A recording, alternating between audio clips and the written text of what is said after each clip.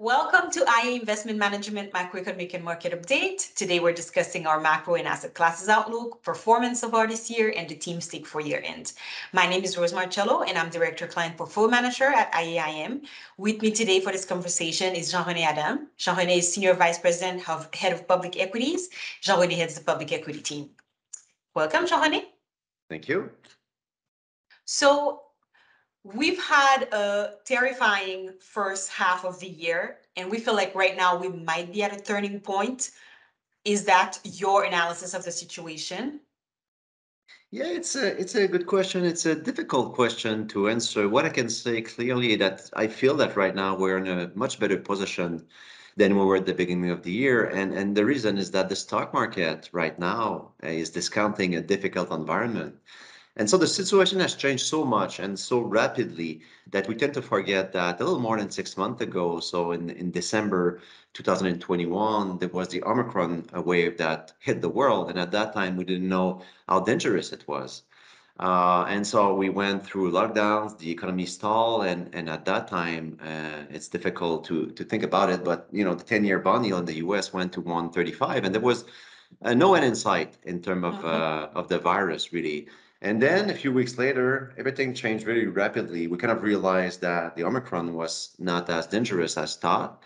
And uh, we realized that uh, there was too much money in the system and that inflation would be a big problem uh, in 2022. And we needed really higher interest rates in order to, to fight it. And I think that was the brutal awakening for the market. And this is why the correction in equity was so strong because it was unexpected and it caught investors off guard. And this is not the case anymore. So we've been in a little of a rally, let's say, in June, uh, late June, early July, and all throughout maybe last week. Do you think the current rally is sustainable? And in terms of volatility, what's your outlook for the second half of the year? Yeah, again, I mean, what, what I really like, and continuing on what I've just said, what I like about the current situation is that we know very well what's the risk, right? The risk is is inflation. Uh, and um, and and the other risk is that to fight for inflation, we have got to increase interest rates, and then you know the economy will be impacted. Uh, the good thing is that also we acted on that risk, right? Central banks have increased interest rates dramatically and very rapidly, and will continue to do so also. Uh, second thing is that the stock market has adjusted for that difficult environment and for that risk, really. And so what does it mean? It means that the stock market is uh, way cheaper than it was at the beginning of the year. So just look at the S&P 500 index, for instance. So if you look at the valuations of the forward price earnings multiple, and that has gone from 23 times uh, earnings to 17 times as, as we speak. And uh, as you can see on the chart here, and, and, and then it's pretty much the same case for uh, all indices all over the world. So the TSX here in Canada, it went from 15 times to 11 times earnings. And then the Russell 2000 in the US for the small cap went from 26 to 15 times. So I guess what I'm trying to say here is that a, a, big part of that difficult environment is is priced in right now. And so the big question now is that, you know, what will be the effect of higher interest rates on the economy, and will we go through a, a recession?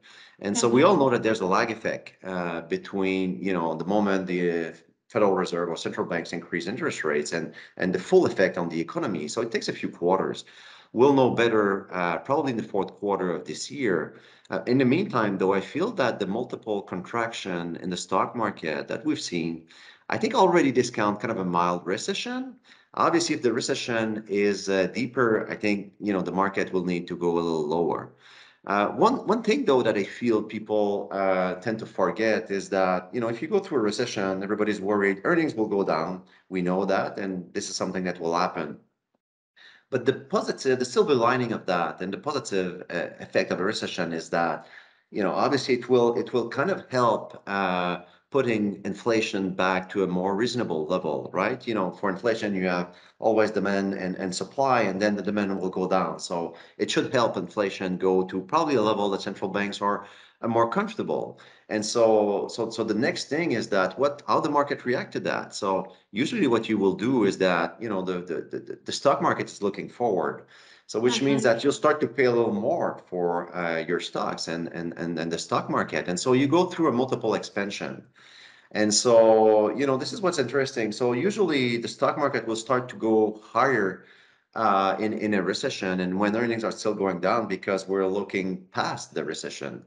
Um, and so I think that's maybe what's explaining right now the rally that we're seeing. So I think mm-hmm. investors currently are, are kind of pricing the end of the increase in interest rates from the Federal Reserve. Uh, and that, you know, a lot of people are thinking that maybe the last increase will be in September and if it's the case, I think that the rally is uh, is justified. Okay, the rally is in mind is sustainable. Markets are forward looking. Most bad end lines are already priced in, and we might even look through the market might even look through the earning recession to come. So if we're trying to position ourselves for the long term, what are the sectors that you're seeing opportunities right now and that you'll be monitoring for dislocation? Yeah, I, think at this point, you know, I would favor areas of the stock market that have already corrected meaningfully and that are discounting a very difficult environment. So whether because of a possible recession or because of uh, the effect of higher interest rates on on the valuation. So I think if we do that, uh, the downside the downside risk is is more limited, and I think there's a you know pretty good pretty good upside. So the first uh, opportunity I'm seeing is uh, looking at all the growth stocks, uh, technology stocks, or even thematics. Yeah. Um, they've been hit very hard, and not so much because of a expected uh, weaker economy, but more because of higher rates and the effect on valuation, and especially the, the more expensive names, right? Mm-hmm. But when you look uh, in more detail, uh, the business model, you know, of most of these companies hasn't changed really. Uh, and and the difference is that the, the valuation is at a more interesting level after the sizable correction that we've seen in the first half. So that's that's the first thing. Uh, second area I would look at would be the REITs. Uh, they have suffered also because of higher rates. Uh, so two reasons for them. First of all, the, their business model, they have a higher debt level, so mm-hmm. higher interest rates obviously will have an impact on costs. So that's the first point. The second one is that they, they tend to pay a higher dividend. So when interest rates increase, uh, you know, that dividend uh, becomes a little less appealing because you have option, you can buy bonds at the higher rates, right?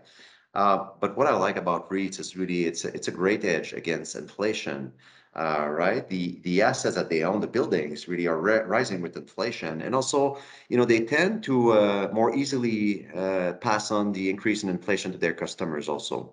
And so the last point I would I would I think is an opportunity would be the Canadian stock market. Um, mm-hmm. Um, I just mentioned it. It's it's very cheap, uh, trading at close to 11, 12 time earnings.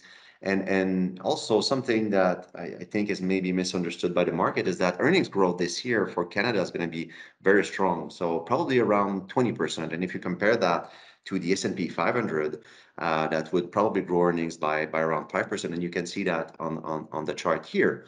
And, and maybe a last point now that I've discussed opportunities, maybe uh, something that I would warn investors, I would be more cautious, would be, you know, if you look at all the defensive stocks and sectors that people bought lately because they were fearful and they were looking for safe investments. So I'm thinking about utilities or consumer staple stocks or or, or sectors, uh, really. Uh, I think the relative valuation now is pretty expensive compared to the rest of the market. So I think it can reverse quickly if the situation improve. So I think this is pretty much my views for the, the second half of uh, 2022. Wow, so some volatility to come, but you're seeing you're seeing opportunities in in growth uh, names. You're seeing opportunity maybe in REITs due to dislocation. Um, let's hope that's what happens. Thank you so much, Jean René. Thank you, Rose.